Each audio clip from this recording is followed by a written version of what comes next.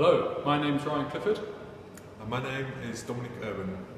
We're the developers of Fran Borjan, which is a low-fat, non-dairy cocoa iced dessert which uses algal protein as a sustainable alternative to dairy protein.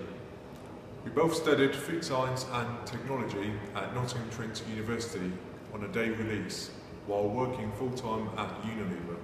We entered the competition so we could get a good understanding of what it takes to develop a food product and to carry that through and bring it to market. We hope to achieve the skills required to develop a product and take it all the way to market.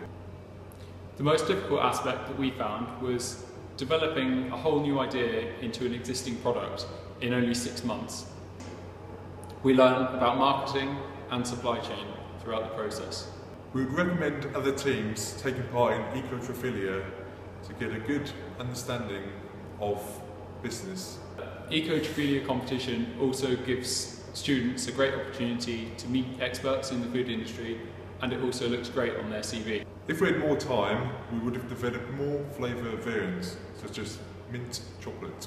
Dom and I both undertook apprenticeships while studying at Nottingham Trent University at Unilever and we now work at Unilever permanently.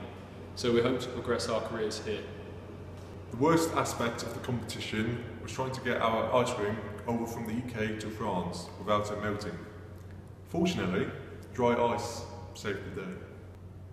Since winning the UK competition and getting a bronze award at the European finals, we have been nominated at our end of year recognition awards for our site at Unilever.